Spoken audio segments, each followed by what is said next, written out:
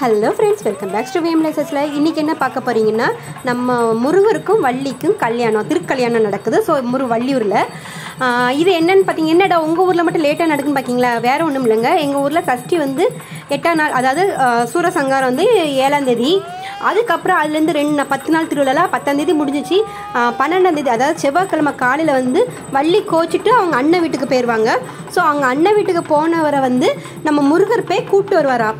So அங்கே போய் எம்மா தாயே நீ வந்துடுவா என் கூட? அப்படின்னு சொல்லி முருகர் வந்து வள்ளியை சமாதானம் பண்ணி தான் வீட்டுக்கு கூப்பிட்டு வருவாராம்.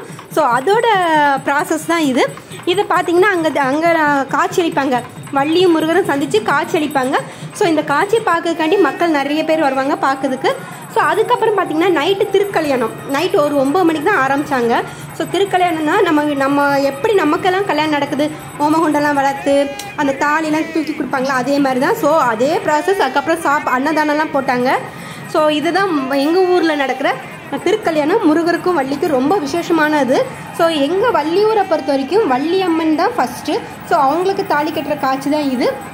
இந்த அதுக்கப்புறம் மாலை மாற்றுறது அதுக்கப்புறம் நம்ம வந்து ஸோ பார்க்கவே அவ்வளோ அழகாக இருக்கும். நைட் ஒம்பது மணிக்கு முந்திலாம் அந்த காலத்துலலாம் வந்து பன்னெண்டு மணி வரைக்கும் ஆயிருமா? ஆனால் இப்போ என்ன கொஞ்சம் ப்ராசஸ் சீக்கிரம் முடிச்சிருக்காங்க. ஒம்பது மணிக்கெலாம் ஆரம்பிச்சிருக்காங்க. ஒம்பது மணிக்கு முகூர்த்தம் போட்டிருந்தாங்க. ஸோ அங்கேருந்து அவர் வள்ளி கோச்சிட்டு போன அவங்க அண்ணன் வீட்டிலேருந்து நம்ம முருகர் உடனே போய் அதாவது வள்ளியூர் ஆம்பளைங்க வந்து எப்படின்னா டக்குன்னு கோவப்பட்ட கோவப்படுவாங்க. கோவப்பட்ட அடுத்த செகண்டே சமாதானமாக ஆயிடுவாங்க ஸோ அதே மாதிரி தான் முருகரும். ஸோ அவர் போய் வள்ளியை போய் கூப்பிட்டு வந்த காட்சி தான் இது. எங்கள் அத்தை இந்த இந்த கதையை அடிக்கடி எனக்கு சொல்லியிருக்கிறாங்க. அதை வச்சு தான் நான் சொல்கிறேன் அவர் வந்து ஒரு நமக்கு இந்த மாதிரி நேரத்தை திருக்கல்யாணம் பார்க்குறது வந்து ரொம்ப விசேஷம். ஸோ கல்யாணம் ஆகா ஆகாதவங்களுக்கு இதை பார்த்தா கல்யாணம் ஆகும்னு ஒரு சொல்கிறாங்க அது எப்படின்னு எனக்கு தெரியல.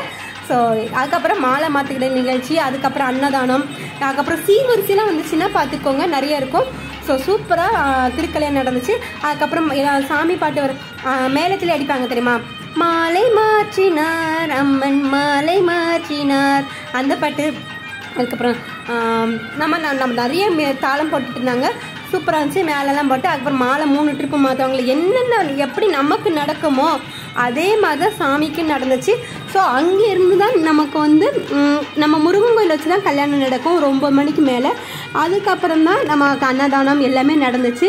ஸோ சஷ்டி முடிஞ்சு எங்கள் ஊரை பொறுத்த வரைக்கும் சஷ்டி முடிஞ்சு மூணு நாள் கழித்து தான் திருக்கல்யாணம் அப்படின்னு நடக்கும். எல்லா ஊர்லேயும் அன்றைக்கி சாயந்தரமே நடந்துடும் ஆனால் எங்கள் ஊரில் மட்டும்தான் கொஞ்சம் லேட்டாக நடக்கும். பார்த்தீங்களா சீர்வரிசையெல்லாம் இருக்குது பார்த்தீங்களா இதுதாங்க எங்கள் ஊர் ப்ராசஸ் உங்கள் ஊரில் எப்படி நடக்கணும் எனக்கு கண்டிப்பாக கமெண்ட் செக்ஷனில் கமெண்ட் பண்ணுங்கள் இந்த திருக்கல்யாணம் பார்க்குற எல்லாத்துக்குமே எல் நல்ல எல்லாம் நினச்ச காரியம்லாம் நடக்கட்டும். எப்போவுமே நான் சாமி கும்பிடும்போது எல்லாரும் நல்லா இருக்கும்னு நினைப்போம். ஸோ அதே மாதிரி உங்களுக்கும் நினச்ச காரியம்லாம் நடக்கட்டும். ஓகே ஃப்ரெண்ட்ஸ் இந்த வீடியோ பிடிச்சிருந்தா மறக்காமல் லைக் பண்ணுங்கள் ஷேர் பண்ணுங்கள் சப்ஸ்கிரைப் பண்ணுங்கள் பெல் பட்டனை கிளிக் பண்ணுங்கள் பாய்